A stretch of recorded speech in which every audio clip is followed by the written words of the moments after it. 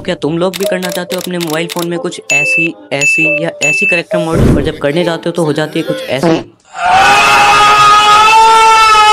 Tension क्यों ले रहे हो यार? मैं सिखाऊँगा ना तुम्हें। अब कई लोग तो यहाँ पे प्रिज्मा थ्री का नाम सुन के चले जाएँगे। पर मैं आज तुम्हें इसे बहुत ही आसान तरीके से समझाने वाला हूँ। तो सबसे पहले तुम्हें डिस्क्रिप्शन में जाके एक फ़ाइल डाउनलोड कर लेनी है। उसके बाद तुम्हें आ जाना है जेड आर्चीवर में और अपनी फ़ाइल को ढूंढ लेना है। और अपनी फ़ाइल पे एक बार टैप करके उसे एक्सट्रैक्ट कर लेना है। उसके बाद तुम्हें खोल लेना है प्रिज्मा थ्री और अपना प्रोजेक्ट क्रिएट कर लेना है। फिर तुम्हें थ्री लाइन्स पे टैप करके थ्री डी इम्पोर्ट पे जाना है और अपनी फ़ाइल को इम्पोर्ट कर लेना है।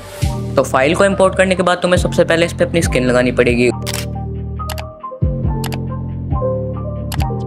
तो यहाँ तुम्हारी स्किन कुछ ब्लर होगी तो तुम्हें यहाँ जाके पिक्सल ब्लेंड को ऑफ़ कर लेना है। इसके बाद तुम्हें इस करेक्टर के आँखों के नीचे वाले डॉट पर टैप करके इन्हें नीचे ऊपर सेट कर लेना है। इसके बाद तुम्हें रोटेट टूल पर आके इसे मॉडलिंग दे लेनी है। तुम इसे अपने हिसाब से सेट कर सकते हो। मैं इसे फ़िलहाल रनिंग पोजीशन दे रहा हूँ।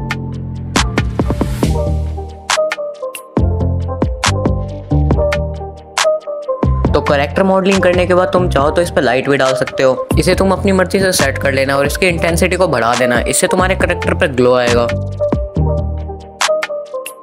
इसे सेट करने के बाद तुम्हें थ्री लाइंस पे टैप करके रेंडर पे जाना है और यहाँ पे इस वाले आइकन को सिलेक्ट कर देना है और प्रिज्मा थ्री को सिलेक्ट करने के बाद तुम्हारी फ़ोटो गैलरी में सेव हो जाएगी और अब इसे तुम आराम से अपने थंबनेल्स में यूज़ कर सकते हो। तो अगर तुम्हें ये वीडियो अच्छी लगी हो तो दबा देना। लाइक बटन और मैं मिलूँगा तुमसे अगली वीडियो में, तब तक के लिए गुड बाय रुको रुको रुको रुको। क्या तुमने मेरी ये वाली वीडियो देखी? नहीं देखी तो जल्दी से जाके देखो यार।